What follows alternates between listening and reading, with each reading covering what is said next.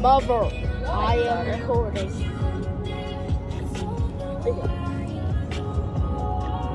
What do you want to say to the viewers? I want to say if you don't, never heard of Pillager Slayer 64.